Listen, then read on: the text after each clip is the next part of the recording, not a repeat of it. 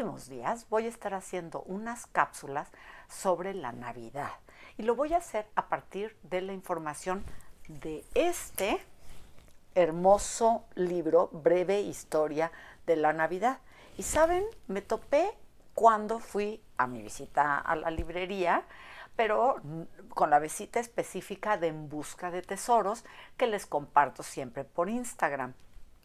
Y este libro lo escribió Andy Thomas, quien tuvo una niñez muy, muy linda con respecto a la Navidad, alrededor de las tradiciones y festejos navideños, y es una época que le gusta mucho. Pues entonces, a mí también, coincido con él plenamente y decide escribir un libro sobre la historia, no sobre la Navidad, sino como la historia de cómo nos lleva, cómo ha sido un signo de la humanidad y seamos conscientes o no, porque cada uno de nosotros está profundamente arraigado en las ceremonias y creencias o rituales o culturas del pasado, ¿no? O sea, no importa de dónde seamos, esto es así.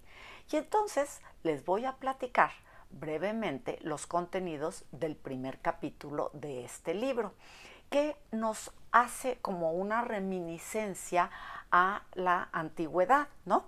Y por ejemplo, todo esto empezó por los solsticios de invierno y el de verano.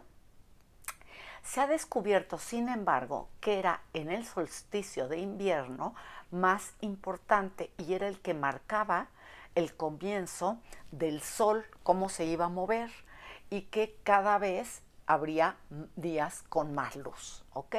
Estos momentos marcaban los extremos elípticos de la Tierra que gira alrededor del Sol y del ciclo, ay, perdonen ustedes, de los dos. Por ejemplo, en el monumento de Stonehenge en Inglaterra, la piedra, la piedra la que está más alta, apunta a la salida del sol. En Irlanda se construyó Newgrange, en el que los rayos del amanecer.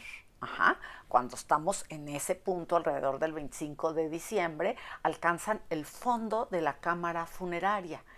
Entonces vean cómo esto desde mucho más allá tenía que ver con estas fechas, alrededor del 25 de diciembre.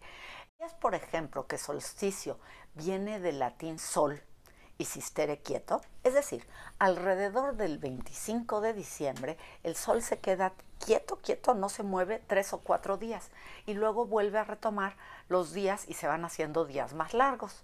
Pero vamos y te cuento algunas festividades semejantes en otras culturas. Por ejemplo, Dongxi en China, Hanukkah en la cultura judía, Korochun en la, en la eslava, Makar Sankranti en la hindú, Yalda iraní, Yule germánica nórdica, Siemasvetki letona, desde letona. Vean cómo por todos lados el 25 de diciembre festejan el comienzo de los días más largos. Por ejemplo, hay muchos dioses como Mitra, que es de origen persa, o el dios egipcio Horus, y de la romana del Sol Invictus llamada Dies Natalis Solis Invicti y que la acomodaron para aprovecharla y festejar el nacimiento de Jesús.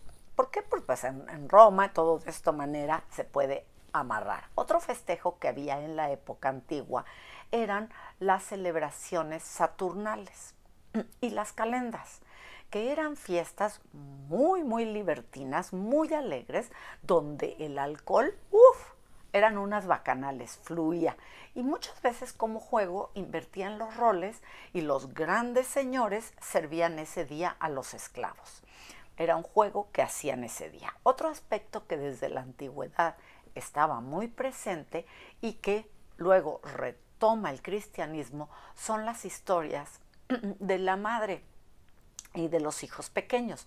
Por ejemplo, la gran diosa Iris tiene que huir con su hijo Horus del tirano Set y lo tiene que esconder para que no lo maten. Las imágenes de la antigüedad quedan lejos de María y Jesús, pero la verdad, María y Jesús y el cristianismo muestran la universalidad de estas creencias y tradiciones de la madre con el hijo. Cuando Jesús, por ejemplo, que era un niño pequeño, y Herodes eh, ordena matar a todos los niños de dos o menos años para que no, para que Jesús no viviera, entonces María y José se tienen que huir a Egipto. Otro aspecto que nadie sabe con exactitud es realmente cuándo nace Jesús. Y si fue en el solsticio de invierno o inclusive en el de verano. Fíjense, ¿sabías tú esto? Yo no. Tampoco cuando llegaron, cuándo fue que llegaron realmente los Reyes Magos y cuántos Reyes Magos eran. Se cree que podrían haber sido 20, pero se nombraron a tres para hablar de los tres regalos que llevaran y lo que simbolizaban y fuera más acotado. Tampoco es claro, por ejemplo, si realmente estuvieron en un pesebre y en un establo o en una cueva, o si había pastores o realmente llegaron después. Entonces, es que las tradiciones también se van acomodando a lo que se necesita. Ahora bien, también nos platica Andy Thomas este, qué se cree o cómo fue la historia de Belén. Por ejemplo, algunos historiadores creen que fue es ficticio y que se creó realmente para darle un significado intenso y profundo al nacimiento de Jesús. Eh, eso es una parte, pero por esos tiempos, un poco antes, apareció el cometa Halley, y también se piensa, por ejemplo, que Mateo lo retoma cuando, cuando escribe este, todo lo que sucedió para inspirarse en este hecho y darle un significado mayor. También, por ejemplo, hay una posibilidad de que la estrella fuera una conjunción de diferentes planetas y los astrólogos lo vean como el comienzo de la era de Pisces y entonces vemos cómo tendría que ver con la astrología. Observa, por ejemplo, cómo los peces, que es el símbolo de ese signo de Pisces, se convirtió también en el símbolo del cristianismo. Entonces ve cómo van haciéndose cosas. Significa que hay en la Biblia una influencia mayor de la astrología de lo que quizá pensamos todos. ¿Y sabes, por ejemplo, qué es la Epifanía? Bueno, pues la Epifanía significa la manifestación o aparición. Bueno, pues sería la aparición de los Reyes Magos. Pero Mateo no dice cuándo fue que aparecieron, cuándo nació Jesús. Podrían, por ejemplo, haber sido dos o tres años después. Sin embargo, todo se junta en un contexto para permitir los festejos.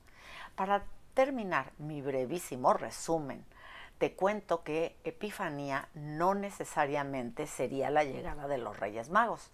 Otros la unían a la primera aparición de Jesús en público, ¿no?